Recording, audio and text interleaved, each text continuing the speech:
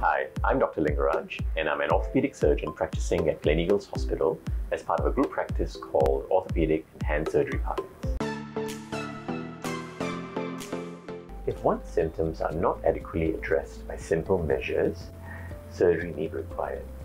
When there are small and limited areas of cartilage damage, minimally invasive arthroscopic or keyhole surgery may be carried out to repair the damage by stimulating the formation of new cartilage. However, when there is more severe or extensive damage, more invasive surgery may be required.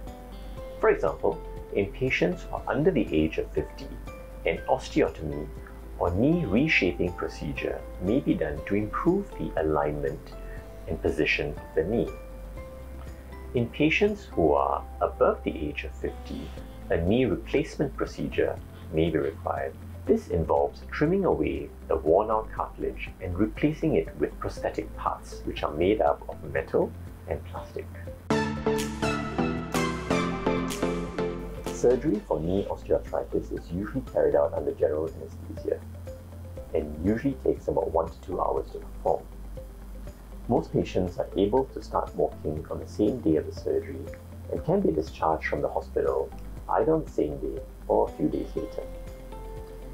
Now, we sometimes advise patients to use a walking aid for walking for two to six weeks after the procedure to help the knee recover.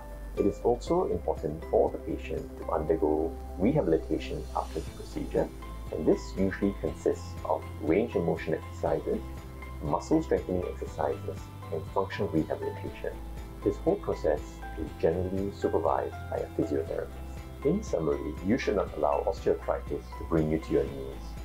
There are many effective treatment options available that can help you get back to an active lifestyle. Do not hesitate to seek help.